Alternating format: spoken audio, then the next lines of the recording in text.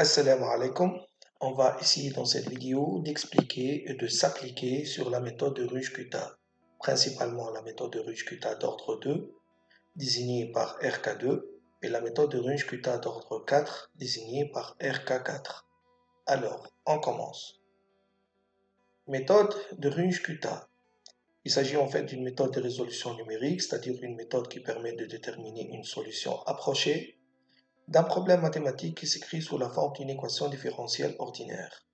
Une équation différentielle ordinaire, c'est une équation qui présente euh, f' de x en fonction de x et de f de x, bien sûr avec des conditions aux limites. Par exemple, l'équation différentielle f' de x plus 0,3 f de x moins 2 exponentielle moins x égale à 0, c'est une équation différentielle ordinaire. Pourquoi? Parce qu'on peut écrire f' de x égale moins 0,3 f de x plus 2 exponentielle moins x. Donc, on a présenté f' de x, qui est la dérivée de la fonction x, bien sûr, en fonction de x et de f de x. Donc, il s'agit bel et bien d'une équation différentielle ordinaire. Bien sûr, pour résoudre cette équation, il faut lui associer une condition en limite, par exemple f de 0 égale 3, c'est-à-dire la, valeur que prend la fonction f sur un, sur un point d'abscisse égal à 0, ça donne 3. Bien sûr, il est à rappeler ici que la résolution de l'équation différentielle euh, euh, c'est-à-dire résoudre la valeur de f sur un point x. C'est-à-dire l'inconnu ici, c'est la fonction f, ou la valeur que prend la fonction f sur un point x et non pas x. Historiquement parlant, cette méthode, comme l'indique son nom, a été développée en 1901 par euh, le physicien allemand qui peut être aussi considéré comme étant un mathématicien, euh, Karl Runge, qui a développé cette méthode pour résoudre les équations différentielles qui ont surgi lors de ses études de recherche concernant euh, les spectres atomiques.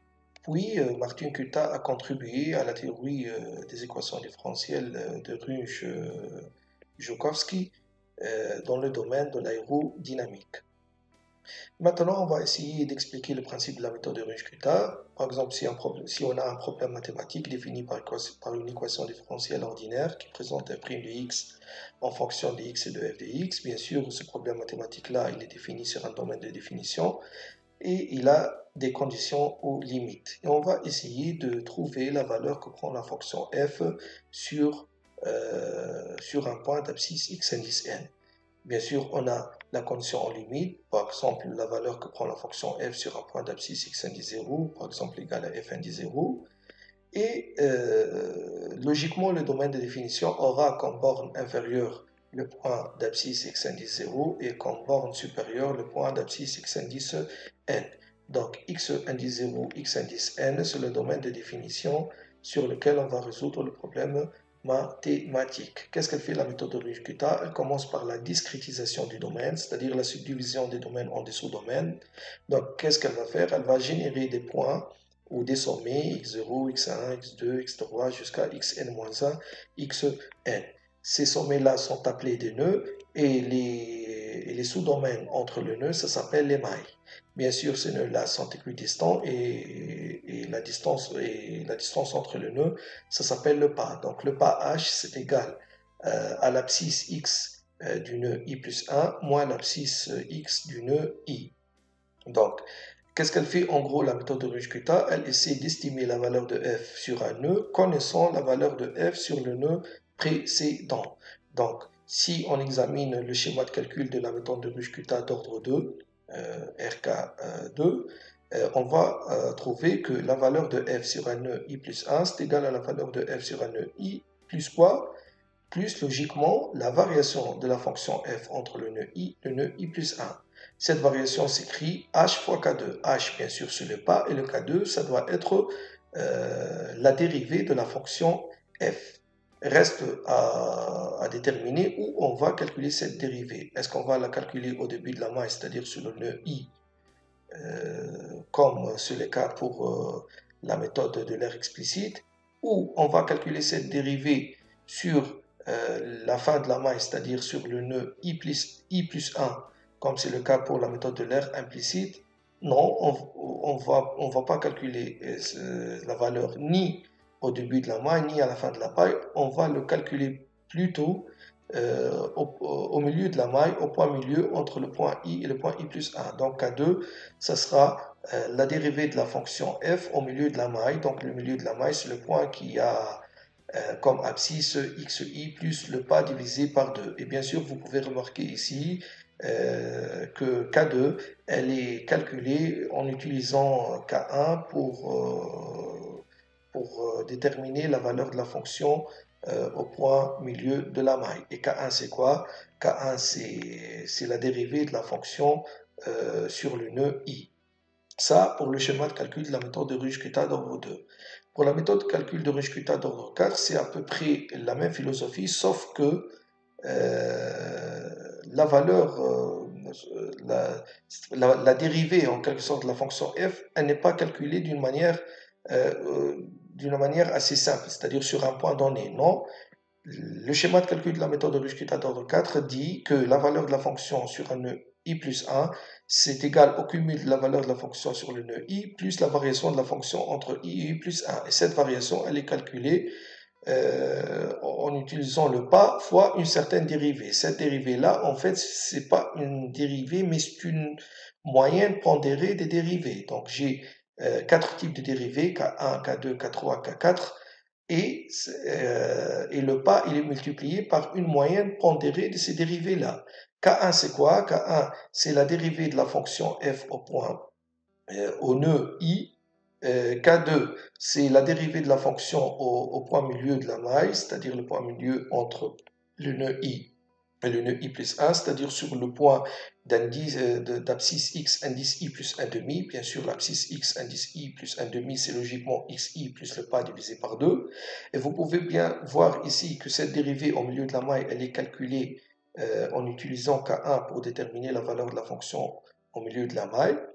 Et K3, c'est aussi c'est aussi la dérivée de la fonction au point au milieu de la maille, c'est-à-dire au point milieu entre, entre le nœud i et le nœud i plus 1, et sauf que on utilise ici K2 pour calculer la valeur euh, de la, de la valeur de la fonction au point euh, milieu euh, de la maille. Et ça reste K4. K4, c'est la dérivée de la fonction sur le nœud i plus 1. Donc, donc ici, si on récapitule, la valeur de la fonction f sur un nœud i plus 1, c'est égal à la valeur de la fonction f sur le nœud i, plus le pas fois une moyenne pondérée des, dérivés de la fonction f. il euh, on attribue comme, euh, euh, coefficient de pondération 1 pour la dérivée de la fonction sur le nœud i, 2 pour la dérivée de la fonction au point milieu de la maille, en utilisant K1 pour pour, pour, calculer la valeur de la fonction point milieu. K3 et, et, pour le, et, 2, et 2 comme coefficient de pondération pour la dérivée de la fonction de la dérivée de la fonction indiquée par K3, c'est-à-dire euh, calculée au point milieu de la maille, mais en utilisant euh, K2 euh, pour, pour calculer ou pour évaluer la, la, valeur de la fonction au point milieu. Et ça reste euh, ici K4, donc on a attribué euh, un coefficient de pondération égal à 1 pour K4. Donc divisé par 6, pourquoi 6 Parce que la moyenne, la, somme des coefficients de pondération, c'est 6. 1 plus 2 plus 2 plus 1, c'est égal à 6. Donc vous pouvez remarquer très bien qu'on a donné un coefficient de pondération plus élevé pour les, pour les dérivés de la fonction qui sont calculés au milieu de la maille. Maintenant, euh, on va essayer de s'appliquer sur la méthode de Ruijskuta euh, d'ordre 2. Donc, si on a un problème mathématique euh, basé sur une équation différentielle ordinaire, donc on suppose qu'on a cette équation-là, qui est f' de x plus 0 droit f de x moins 2 exponentielle moins x égale à 0. J'ai la condition limite f sur le point d'abscisse égale à 0, elle est égale à 3. Donc f de 0 égale 3 comme condition limite. Donc on voit ici que euh, qu'on peut écrire euh, l'équation différentielle comme étant f' de x égale euh, en fonction de x et de f de x, donc c'est égal à 2 exponentielle moins x moins 0,3 f de x. Et on, on va essayer d'approcher la valeur de f sur un point d'abscisse 0,15. Donc on commence par quoi? On commence par déterminer le domaine de définition. Donc vous voyez très bien que la borne inf c'est 0, euh, puisque la condition limite elle est définie sur euh, le point d'abscisse 0, et la borne sub c'est 0,15 puisque puisqu'on va essayer de trouver une valeur de la fonction f sur 0,15. Si on prend un pas h égale 0,05, donc c'est comme si on va générer 4 nœuds et produire 3 mailles. Donc les 4 nœuds sont x0, x1, x2, x3, et il y a 3 mailles entre ces 4 nœuds-là. Euh, le nœud x indice, le nœud 0, il est d'abscisse x indice 0 égale à 0. Le nœud 1, il est d'abscisse x indice 1 égale 0, 0, 5. Le nœud 2, il est d'abscisse euh, x2, x indice 2 égale 0, 1. Et le nœud 3, il est d'abscisse euh, x indice 3 égale 0, 15. Donc on va essayer de trouver la valeur que prend la fonction f sur le nœud numéro 3. Donc, on va, on va utiliser le schéma de calcul qu'on a expliqué tout à l'heure pour le principe de la méthode de Runge-Kutta 2. Donc, la valeur de f sur un nœud i plus 1, c'est le, cumul de la valeur de f sur le nœud i plus la variation de la fonction f entre le nœud i et le nœud i plus 1, qui s'écrit comme étant le pas fois k2, qui est la dérivée de la fonction f calculée au point milieu de la maille en utilisant k1 euh, pour calculer la valeur de la fonction euh, f au milieu de la maille. Et K1, c'est la dérivée de la fonction euh, calculée euh, au début de la maille, c'est-à-dire c'est-à-dire sur l'indice i. Donc ici, i, c'est 0. Donc on commence, on a notre problème là, et puis on va commencer. Donc pour le nœud d'indice i, pour le nœud i 0, c'est-à-dire d'abscisse x indice 0, euh, x indice 0 égale à 0. On a bien sûr la condition aux limites qui est f de 0 égale 3, donc f de x indice 0 égale à 3. Euh, pour calculer f sur le nœud d'indice i plus 1, c'est-à-dire sur le nœud sur le nœud i, on va calculer tout d'abord k1. k1 c'est quoi? Comme on a dit ici, k1 c'est la dérivée de la fonction sur le nœud xi qui est ici le nœud sur le nœud euh, i, c'est-à-dire le nœud 0, c'est-à-dire le nœud d'abscisse xi qui est d'abscisse x indice 0. Ici, donc, ça sera f de x indice i, c'est-à-dire x indice 0 qui est là, c'est 0, donc f de 0. Et f de x0, c'est 3. Donc f de 0, 3. Ici, il faut dire que cette virgule-là, c'est pas une virgule décimale.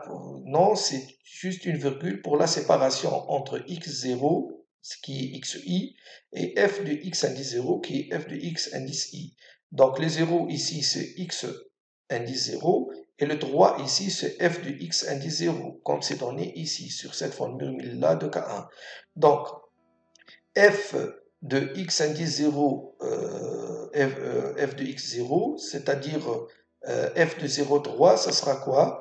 Ça sera moins 0,3 fois f de 0, c'est-à-dire moins 0,3 fois 3, plus 2 fois exponentielle moins x indice 0 qui est 0. Donc 2 fois exponentielle moins 0. Ça va donner 1,1. Donc on a déterminé la valeur de euh, K1. Pour déterminer la valeur de K2, K2 c'est quoi? C'est f de xi plus h sur 2, donc c'est x indice 0 plus h, sur, plus h sur 2. x indice 0 égale à 0 et h égale à 0,05, donc ça sera donc x indice 0 plus h sur 2, ça sera 0,025. Reste cette quantité-là qui est f de x indice i plus h sur 2 fois k1. f de x indice i qui est f de x indice 0 qui est f de 0 qui est 3, plus le pas divisé par 2, donc 0,05 sur 2 fois k1 qui est calculé ici, qui est égal à 1. Toute cette quantité-là et tout calcul fait, ça va donner euh, f, de, f de x0 plus h sur 2 k1, ça va donner 3,0275.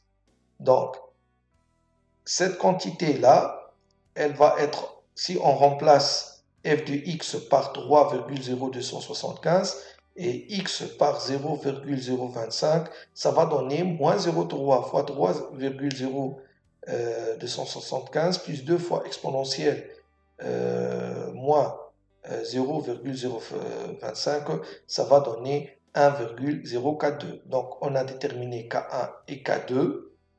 Donc, on a déterminé K1, puis sur la base de K1, on a déterminé K2. Donc, maintenant, on peut déterminer la valeur de la fonction f sur le nœud i plus 1, qui est ici le nœud x1. C'est f de, euh, de 0,05 parce que x indice 1, elle prend comme abscisse, cette abscisse-là, elle prend comme valeur 0,05 qui est, qui est l'abscisse du nœud 1, c'est égal à quoi?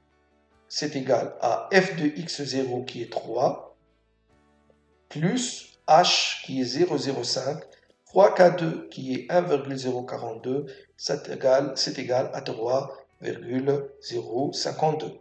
Maintenant, qu'est-ce qu'on a fait sur cette itération-là? On a fait que, connaissant la valeur de f sur le nœud 0, euh, d'indice x indice 0, on a pu déterminer la valeur de f sur le nœud d'indice, euh, d'indice euh, donc sur le nœud 1 qui a l'abscisse x d'indice 1, en utilisant ce schéma de calcul.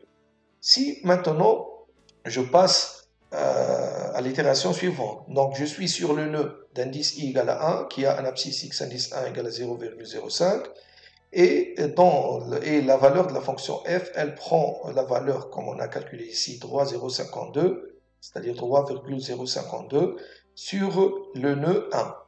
Et on va essayer de calculer la valeur de f sur le nœud numéro 2, qui est bien sûr l'abscisse x indice 2. Donc ici, f de x indice 2, ça sera f de x indice 1 plus h fois k2. Donc, il faut calculer k1 tout d'abord, puis k2. C'est quoi k1 C'est f de x indice 1, f de x indice 1. Donc, ça va, c'est la dérivée de f' sur le nœud 1, c'est-à-dire sur le nœud d'abscisse x indice 1, ça va donner k1 égale moins 0,3 fois f de x1 plus 2 exponentielle moins x1. Donc à 1 ici, f de 0,05, 0,05 comme on a dit ici, elle représente x1. Et 3,052, elle représente la valeur de f sur x1. Et bien sûr, je répète ici la virgule, c'est juste pour la séparation, c'est pas une virgule décimale, c'est le point qui représente la virgule décimale, alors que la virgule ici, c'est juste pour la séparation entre x indice 1 qui est 0,05 et f de x indice 1 qui est calculé ici, ici c'est droit 0,52. Donc, f', donc le cas 1 qui est f' sur x indice 1, euh, ça sera moins 0,3 fois f de x, c'est-à-dire moins 0,3 fois f de x1 qui est moins 0,3 fois 3,0522, plus quoi? Plus 2 fois exponentielle, exponentielle quoi? Exponentielle x 1.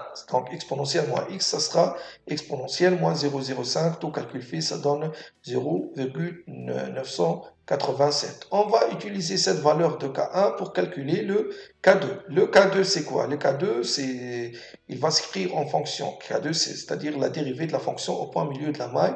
Elle va s'écrire en fonction des 0,075 qui, qui présente le, x, le x1 plus h sur 2, x1 c'est 0,05 plus h sur 2 c'est 0,05 sur 2, donc ça donnera ton calcul fait 0,075.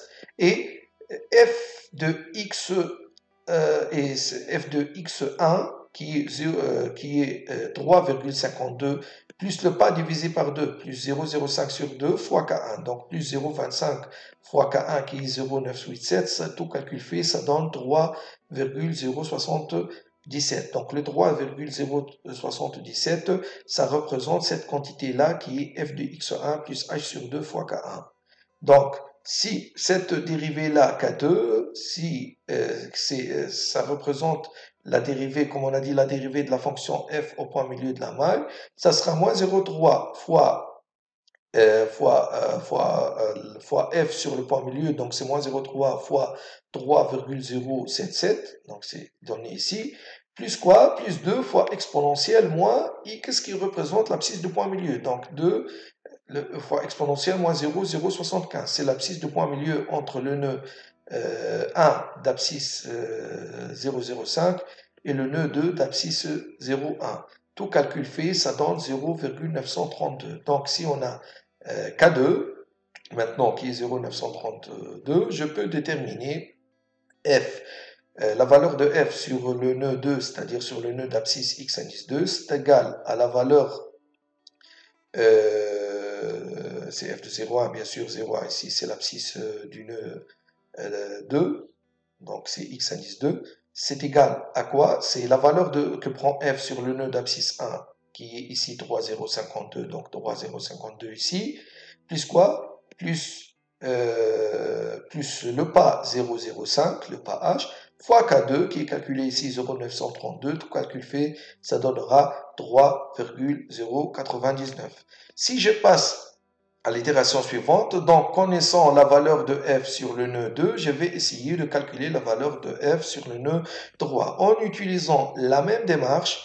On, donc on calcule K1, puis K2, puis on trouvera f de x3 sur le nœud f de x3, c'est-à-dire la valeur de f sur le nœud 3 qui est d'abscisse x indice 3 qui est 0,15, ça donnera 3,14. Donc la valeur de f sur 0,15, euh, ça sera 3,14 si je pars d'une condition en limite f de 0 égale à 3.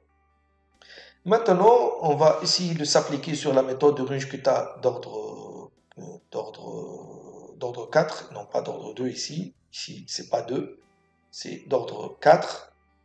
Donc, on a un problème mathématique, donc ici d'ordre 4, faute de frappe, ici c'est pas 2, c'est 4. Donc la méthode de Runge qui est d'ordre 4, RK4. Donc c'est une faute de frappe ici. C'est pas 2, c'est pas 4. Donc si on a un problème mathématique, par exemple on a le problème mathématique suivant, f' du x moins 2 f du x plus 3x euh, égale à, 0.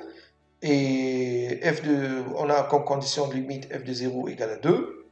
Donc, euh, f' de x, ça s'écrit en fonction de x et de f de x, ça sera 2f de x moins 3 et moins 3x et on va essayer de calculer f euh, de 0, 3. Euh, Donc, euh, le domaine de définition aura comme borne 1, 0 et comme borne sub 0,3. Et si on prend un pas égal à 0,1, on va subdiviser ou on va discrétiser le domaine de définition en 3 mailles. Donc, il y aura 4 nœuds et 3 mailles. Les nœuds sont I0, 1, 2, 3, d'abscisse respective x indice 0, x indice 1, x indice 2, x indice 3. Et euh, connaissant la valeur, euh, la condition limite, c'est-à-dire la valeur de f sur le nœud 0, je vais déterminer la valeur sur le nœud 1, puis connaissant la valeur sur le nœud 1, je vais déterminer la valeur de f sur le nœud 2, et connaissant la valeur de f sur le nœud 2, je vais calculer euh, cette valeur sur le nœud 3. Donc, je vais, je vais trouver la valeur que prend f sur l'abscisse 0, 3. Donc, je vais utiliser euh, le schéma de, calcul que j'ai euh, euh, que j'ai expliqué tout à l'heure dans le principe de la méthode de Rushkuta d'ordre 4 RK4 donc la valeur de f sur un nœud i plus 1 c'est le cumul de la valeur de f sur le nœud précédent qui est le nœud i plus h fois une moyenne pondérée des dérivés k1 qui est la dérivée sur le nœud i, K2 c'est qui est la dérivée sur le point milieu, en utilisant K1 pour calculer la fonction f sur, euh, sur le point milieu, K3 qui est aussi la dérivée sur le, point milieu, mais en utilisant K2 pour euh, déterminer la valeur de la fonction euh, au point milieu, fonction f bien sûr, et K4 c'est c'est la, la, la dérivée de la fonction à la fin de la maille, c'est-à-dire au point, euh, c'est-à-dire sur, le nœud d'indice i plus 1 qui, qui a euh, l'abscisse xi plus h. h, bien sûr, ce n'est pas. Donc, il faut dire ici que la méthode de Runge-Kutta d'ordre 4, c'est la méthode la plus utilisée dans la résolution des équations différentielles ordinaires. Donc, j'ai mon problème là, prime de x moins 2f de x plus 3x égale à 0, avec condition limite f0 égale à 2 f' de x inscrit en fonction de x et f de x, donc 2f de x moins 3x, et j'ai le pas h égale à 0,1 comme, on a montré tout à l'heure, ou comme on, a, euh, euh, comme on a choisi tout à l'heure, et j'ai là encadré en bleu le, euh, le schéma de calcul qu'on a expliqué. Donc, pour euh, le nœud euh, de i égale à 0, donc pour le nœud 0 d'abscisse x indice 0 égale à 0, qui est le nœud initial, avec f de x 0, c'est-à-dire f de 0 égale à 2, puisque la condition limite f de 0 égale à 2, qu'est-ce que je vais faire? Je vais calculer K1. K1, c'est quoi? C'est f de x0, donc f de 0. f de euh, grand F, donc grand F x indice i, x indice 0, donc c'est 0. Et f de x indice 0, donc f de x0, ça sera 2, puisque c'est la condition limite. C'est un donné, ça, sous la forme d'une condition limite. Donc, F, donc, je répète ici, virgule, c'est pour la séparation et non pas une virgule décimale.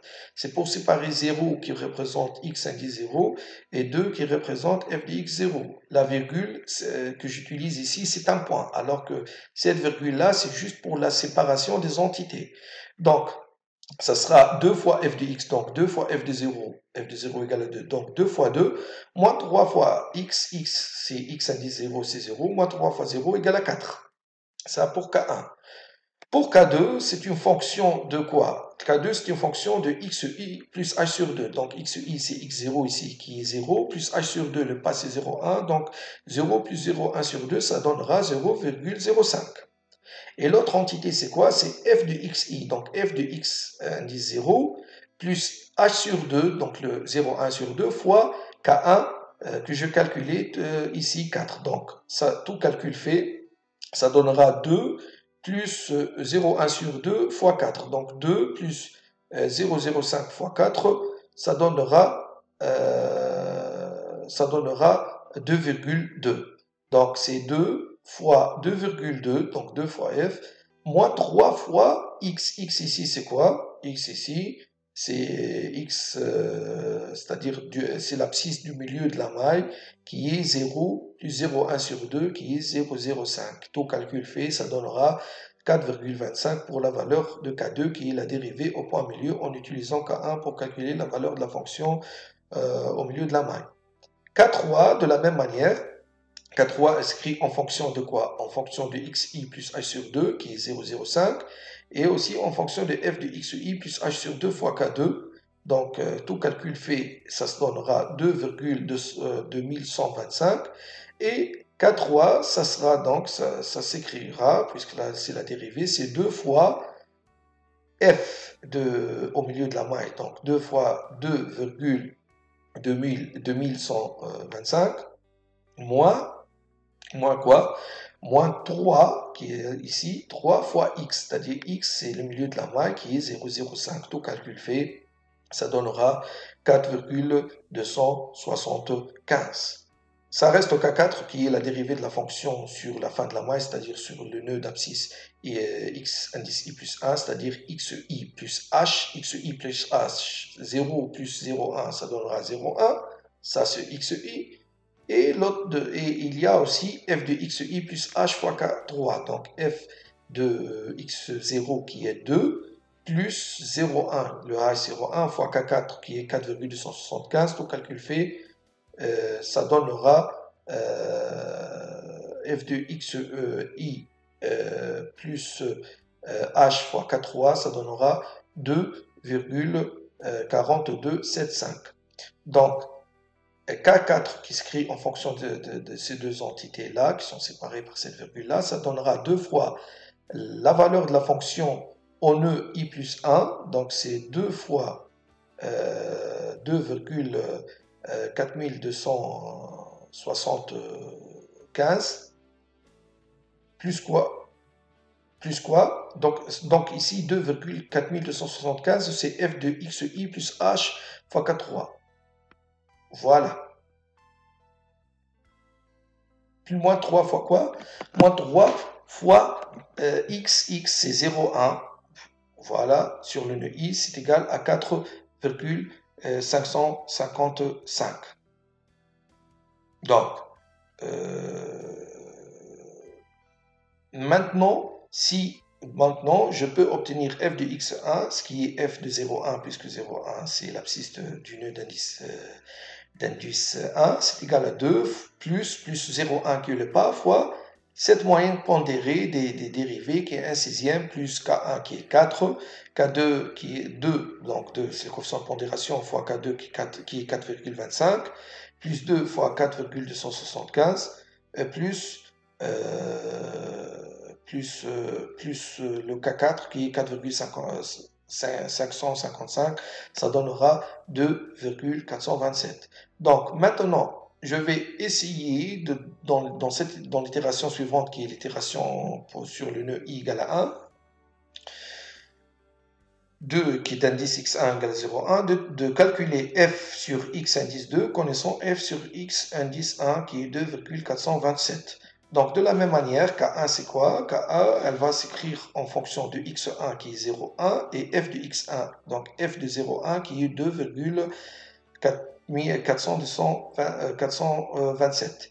Donc, c'est égal à quoi? C'est une dérivée, bien sûr, f', donc ça sera f' de x qui est écrit en fonction de x f de x, ça sera 2 fois f de x1, donc c'est 2 fois 2427, donc c'est ici 2 fois 2427, moins, moins quoi? Moins 3. C'est quoi 3 là? C'est cette 3 là, fois x. x c'est quoi? C'est x1, c'est 0,1. Donc moins 3 fois 0,1, ça donnera euh, 4,554. Voilà. K2. K2, elle va s'écrire, suivant ce schéma de calcul-là, K2, elle va s'écrire en fonction de xi plus h sur 2. C'est quoi? Xi euh, c'est bien sûr ici, c'est 0,1 plus h sur 2, donc 0,1 sur 2, ça sera 0,1 plus 0,05, ça sera 0,15. De l'autre côté, il y a, dans le schéma de calcul, il y a f de xi plus h sur 2 k1. f de xi, ici, c'est f de x1 qui est 2,427 plus h sur 2, 0,1 sur 2, fois K1 qui est calculé ici, 454, tout calcul fait, ça donnera 2,6547. Donc 2,6547, c'est quoi? C'est cette quantité-là qui est f de x1 plus h sur 2 fois K1. Donc, K2, qui est la dérivée de la fonction au point milieu de la maille en utilisant K1 pour calculer la fonction euh, au, point, au, point, au milieu de la maille, c'est 2 fois, euh, fois f de x1 qui est 2 fois 2,6747 moins 3 fois x, x ici c'est 0,15, ça donnera tout calcul fait 4,859. Pour la deuxième dérivée euh, au milieu de la maille qui est 4 roi, il y a xi plus h sur 2, donc c'est la même chose, c'est 0,15. Il y a de l'autre côté f de xi plus h sur 2 k2, donc f de xi, f de x1, ça sera 2,427 euh, plus 0,1 sur 2 fois K2. K2 c'est calculé ici 4,859. Tout calcul fait, ça donnera 2,67. Donc 2,67 ici, c'est la, la quantité f de xi plus h sur 2 fois K2. Donc f de x1 plus h sur 2 fois, euh, fois K2. Et K3, ça représente la dérivée de la fonction au point milieu de la maille en utilisant K2 pour calculer la fonction au point milieu de la maille. Donc, de, 4 c'est 2 fois f de x1, donc 2 fois, euh, ici, 2 fois 2,67, moins quoi? Moins quoi? Moins 3 fois 0,15. Tout calcul fait, ça donne 4,89. Ça, pour la valeur de la dérivée 4, 3, 4 3.